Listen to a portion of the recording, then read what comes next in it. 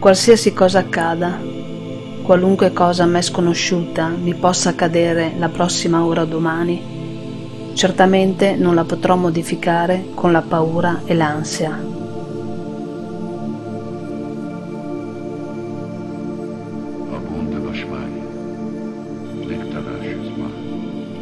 L'affronto dunque con perfetta pace interiore, con il mare del sentire perfettamente calmo.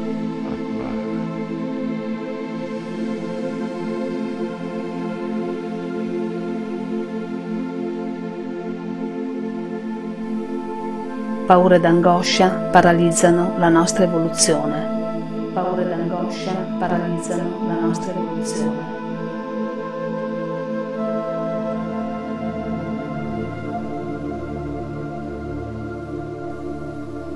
Respingiamo allora le ondate di paura e di ansia, per quanto nella nostra anima ci viene incontro dal futuro.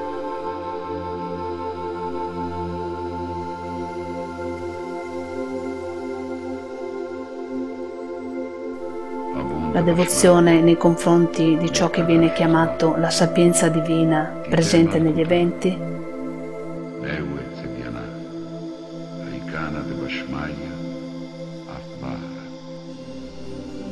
la certezza che qualsiasi cosa accadrà perché doveva accadere e che qualsiasi ne sia la direzione avrà comunque i suoi effetti positivi.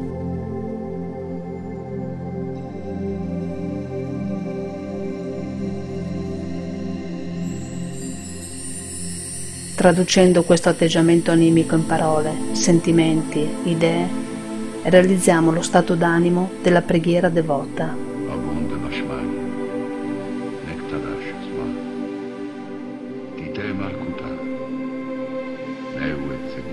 Ciò appartiene a quello che dobbiamo imparare in questo tempo. Dobbiamo imparare a vivere con pura fiducia, senza alcuna sicurezza nell'esistenza, con la fiducia sempre presente del mondo spirituale.